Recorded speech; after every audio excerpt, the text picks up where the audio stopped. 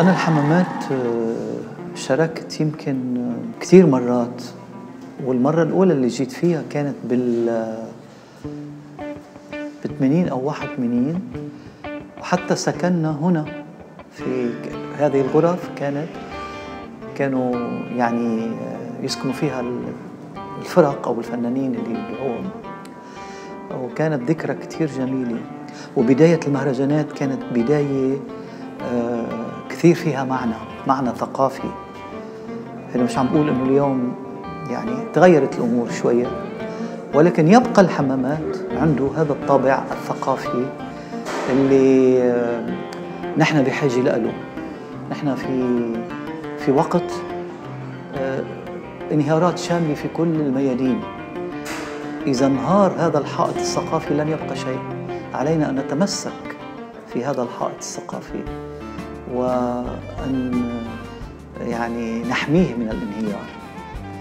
شكرا لمهرجان الحمامات الذي بقي أمينا لمشروعه الثقافي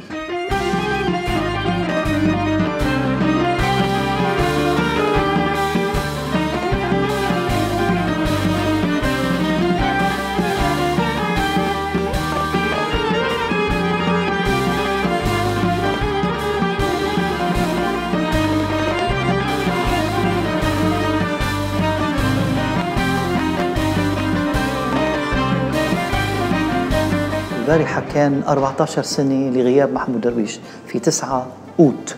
نحن اليوم في 10 يعني جاي هذه الأمسية كتحية لمحمود. هو في الحقيقة هذا البرنامج آه، بشار عندما كان صغيرا شارك معي في عمل اللي هو اسمه تقاسيم. أنا قدمته آه، كتحية لمحمود درويش. هنات سيدة الكناية في الحكاية. لم تكن تبكي على أحد ولكن من مفاتنها بكت. هل كل هذا السحر لي وحدي؟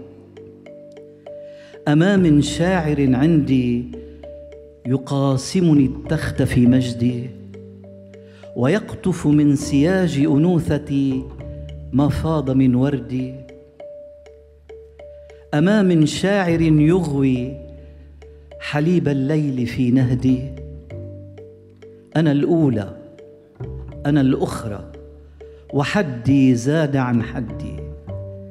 وبعدي تركض الغزلان في الكلمات لا قبلي ولا بعدي. وأنا هلأ اليوم بصدد إنجاز إلي سنة ونص عم بعمل العمل الكبير لمحمود اللي هو الجدارية. الجدارية هو عمل آه، ديوان كامل مئة صفحة شعر آه، أكتب له موسيقى آه، إلي سنة ونص عم بعمل هذا العمل. وهو عمل يعني برأيي مهم هو عمل يعني يحكي عن الموت والحياة يعني إحياء للحياة.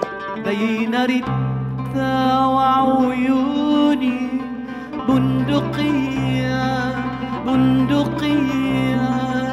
آه بندقية. هذه الأمسية هي تحية خاصة لشاعرنا الكبير محمود درويش.